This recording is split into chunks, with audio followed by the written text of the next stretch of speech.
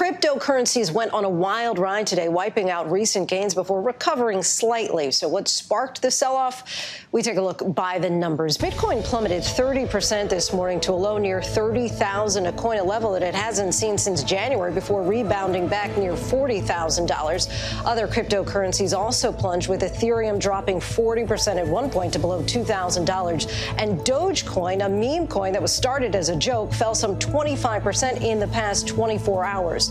Cryptocurrencies spiked in recent months after Tesla announced in February that it would purchase $1.5 billion of Bitcoin and would accept it as payment for their all electric vehicles.